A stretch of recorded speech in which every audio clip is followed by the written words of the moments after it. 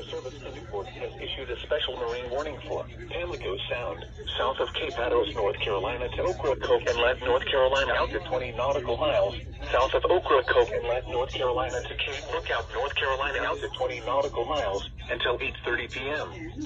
At 7.30 p.m., a strong thunderstorm was located near the vicinity of Cedar Island, or near Cedar Island, moving southeast at 15 knots. Hazard, wind gusts 34 knots or greater. Source, radar.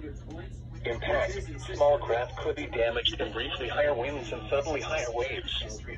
Locations impacted include the vicinity of Atlantic, Drum Inlet, Artificial Reef 250, Ocracoke Inlet, Artificial Reef 275, Artificial Reef 255, Ocracoke, Cedar Island, and the vicinity of Cedar Island. Move to safe harbor immediately as gusty winds and high waves are expected. Thunderstorms can produce sudden water spouts. Water spouts can easily overturn boats and create locally hazardous seas. Seek safe harbor immediately. Frequent lightning is occurring with this storm. If caught on the open water, stay below deck if possible. Keep away from ungrounded metal objects.